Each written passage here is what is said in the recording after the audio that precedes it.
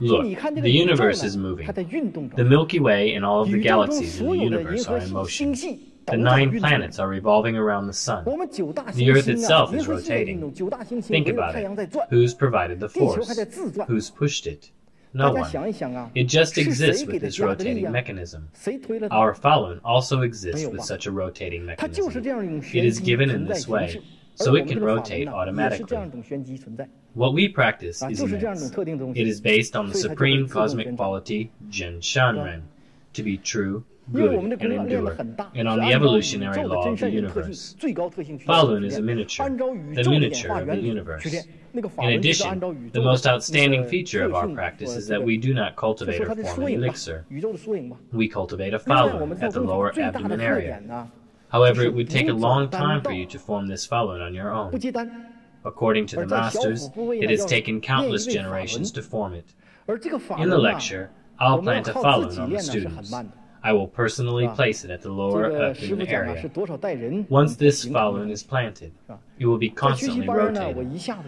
It can collect energy from the universe on its own.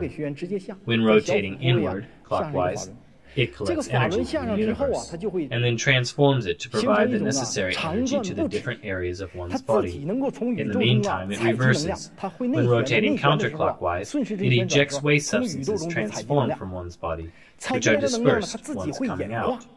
This field can reach very far, so all those around him will benefit. The saying in Buddhist school, rotating inwards saves oneself, rotating outwards saves others. salvation for oneself and others, salvation for all beings.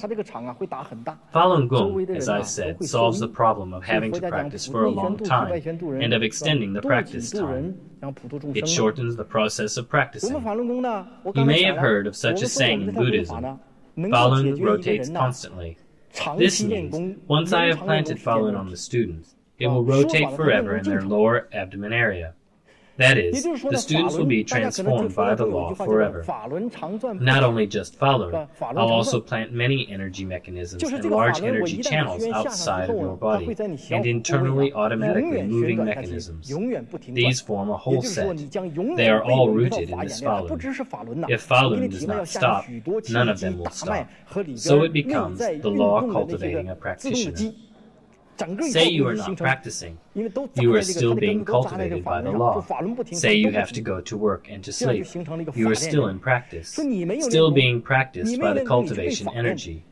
Falun does not stop. The energy mechanisms do not stop. They are always transforming you.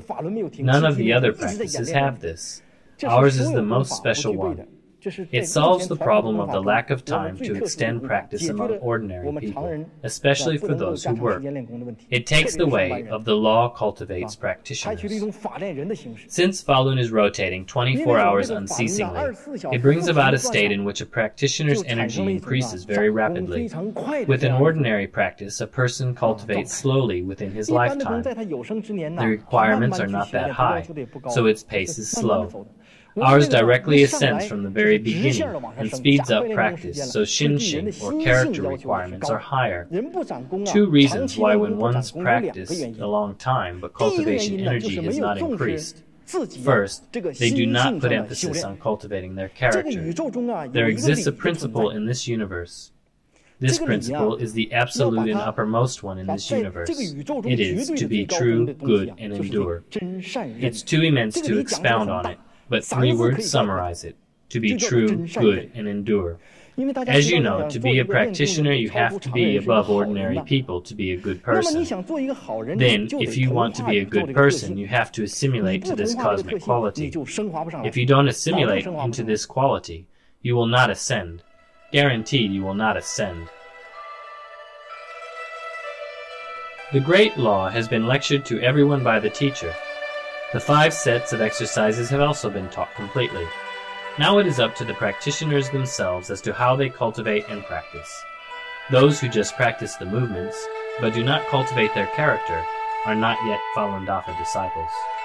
Only those who practice the exercises and at the same time cultivate their character according to the Great Law and are strict with themselves are considered to be Falun Dafa disciples.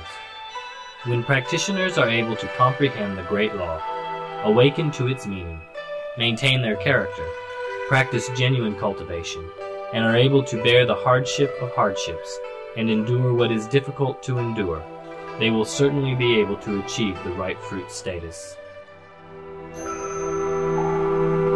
Falun rotates constantly. The Buddha law.